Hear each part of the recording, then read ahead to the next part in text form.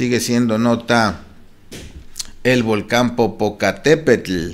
El día de ayer se dio a conocer que pues se mantiene el cambio de semáforo de alerta volcánica de amarillo fase 2 a amarillo fase 3. Por ello, el día de ayer hubo una reunión de los integrantes de la Mesa de la Coordinación Estatal para la Construcción de la Paz en el estado de Morelos. Ahí se dio a conocer que las diferentes dependencias se encuentran al pendiente para tomar las medidas correspondientes en caso de contingencia. La Coordinación de Protección Civil informó que se están llevando a cabo recorridos de supervisión en los municipios de Hueyápano, Cuituco, Temoac, Tetela del Volcán, Yecapixtla y Zacualpan de Amilpas. El general de brigada diplomado de Estado Mayor, eh, Ramírez Antonio Ramírez Escobedo, comandante de la vigésimo cuarta zona militar, indicó que se cuenta con más de mil elementos para ser desplegados en dichas demarcaciones en caso de requerirse. Asimismo, la Comisión Estatal de Seguridad Pública aseguró que tiene listo el helicóptero para realizar recorridos, además de autobuses y patrullas para trasladar a la gente. Como medida preventiva, a partir de este 23 de mayo, las autoridades de la Secretaría de Salud eh, dieron a conocer que 194 planteles de los niveles de educación inicial, preescolar, primaria, secundaria y media superior de las zonas cercanas al volcán tomarán clases de manera virtual y a distancia a partir de hoy y hasta nuevo aviso. Ese es el secretario de Educación, ¿verdad? Sí, dice algo el secretario.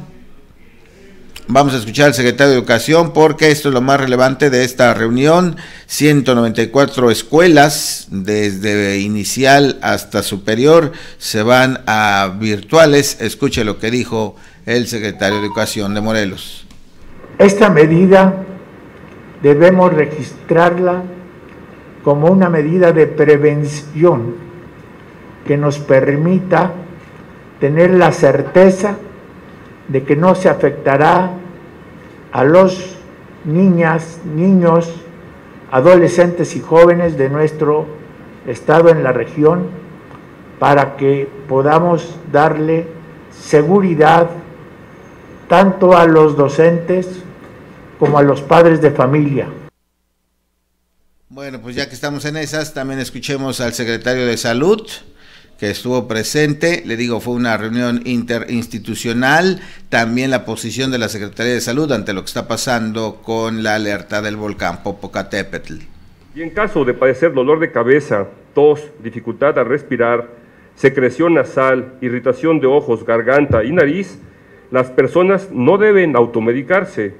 Deben acudir a su centro de salud o unidad médica más cercana o bien ingresar a la plataforma que tenemos en servicio de salud desde, habilitada desde el inicio de la pandemia, que es saludparatodos.ssm.gov.mx, para que a través de una línea virtual reciban asesoría médica.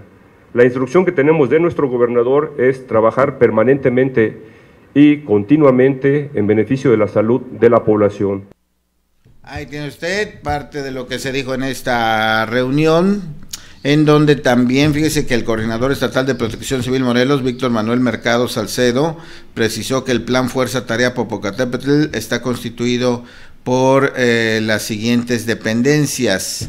En la sección 1, bueno, mejor que lo diga él, ahí lo tenemos al coordinador estatal de protección civil que nos comente también. Lo interesante de esto es que dice que eh, hay un plan Fuerza Tarea Popocatépetl con ocho secciones eh, integradas por diferentes dependencias. Escuchemos al coordinador de protección civil. cambio de, eh, fase del semáforo tiene como consecuencia para el estado de Morelos seguir preparándose todas las medidas preventivas, todas las medidas previas para que en caso de que eh, aumente la intensidad del, volcán Popocatépetl, estamos en condiciones de evacuar de manera selectiva a las comunidades que el Centro Nacional de Prevención de Desastres nos dirá. Por lo tanto, seguimos en amarillo, eh, fase 3, seguimos en la etapa de prevención. Bien, pues ahí tiene, eh, dicho así, bueno, también se habló de albergues, ¿eh? que hay transporte, que hay transporte, que hay albergues, que ya se revisaron las rutas de evacuación. Dicho así, le digo, pareciera que todo está bajo control y preparado el gobierno del estado. Sin embargo, eh, pues nos dejó inquietos ayer la llamada que hicimos con la síndica de Tetela del Volcán, que dijo, no, pues aquí no ha venido el gobierno, no hay plan, no sabemos nada, no hay coordinación.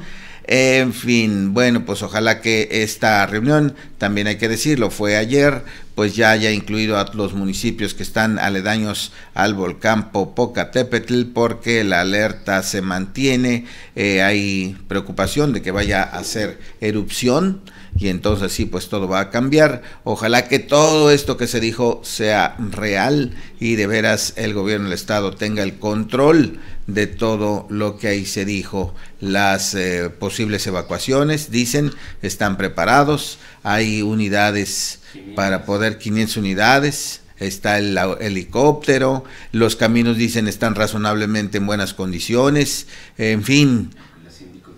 Así es, así es lo que estamos diciendo. Así es que bueno, eh, insistiremos en que estemos en alerta. Usted también eh, escuche solamente la información oficial, no haga caso a cosas que se digan eh, contrarias o que no estén sustentadas y desde luego, desde luego, pues no acercarse al volcán.